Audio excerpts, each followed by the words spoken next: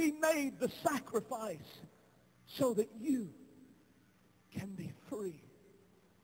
Python is going to break, and I'm closing my sermon now, but listen. Listen. Do you know what the Bible said Paul and Silas did? They sung praises at midnight. And as they sung praises at midnight, God sent an earthquake. And here's the point I want to get to. The next morning, they went back into the prison after God set them free. And they sat down.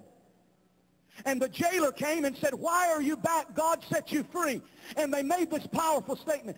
They said, you did not put us in here privately. And we're not going to leave out of this prison house privately. Wait just one moment.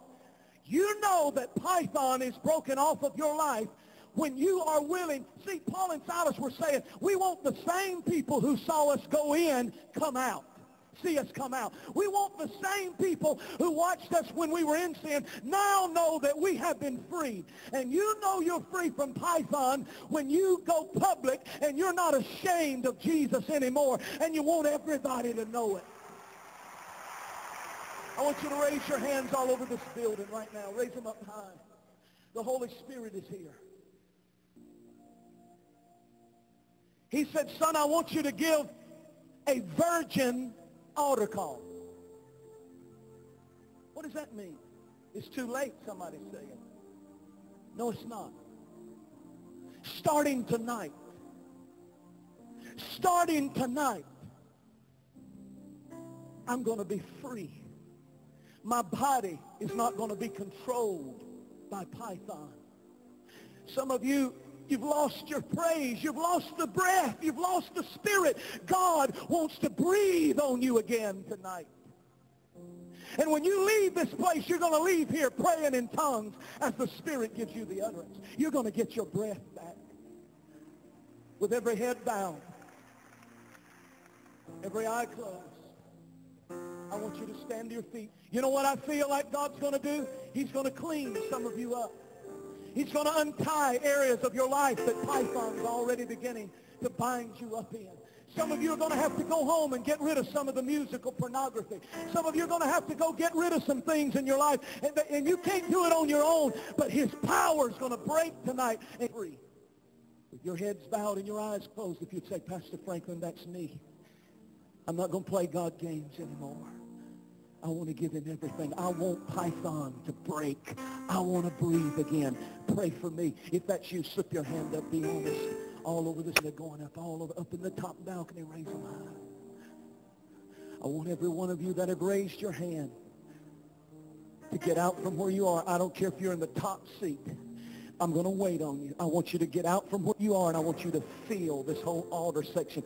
The Holy Ghost is fixing to fall in this altar in a mighty way. I sense it in my spirit, and I want you to come. If you're a backslider, if you don't know where you stand with God, if you feel like Python's got you, you want your mind to get loose, you, some of you are bound to a memory. Some of you need to answer the virgin altar call. Uh, you're not, you can't go back and change the past, but starting tonight, starting tonight. Some of you are in wrong relationships and the devil's got you wrapped up. Dating somebody that's not even a Christian and the devil's got you wrapped up. And you know you're already compromising, doing things that you know you shouldn't be doing. The Lord's going to loose you and you're going to go back and you're going to have a boldness. You're going to be like Paul and Silas and say, I want everybody to know. I want all my friends to know. I want all the people I partied with to know I'm not the same person.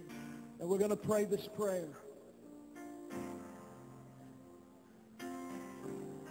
We're going to pray this prayer.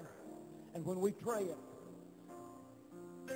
it, Python is going to loose you. How many of you believe this message was for you tonight?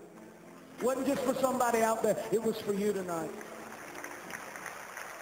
Everybody pray this prayer. Father, in Jesus' name, I come to you tonight and I give you my body. I give you my mind. I give you my eternal spirit. From this night forward, I belong to you. I'll clean my life up. I know the music that I've been listening to that grieves your spirit. I know the movies I've been looking at that grieves your spirit. I know the people I've got entangled with that I'm not strong enough and it's grieving your spirit.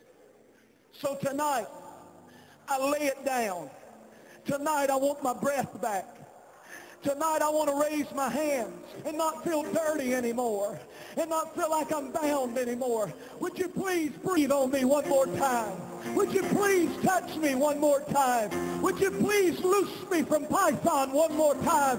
I want to breathe again.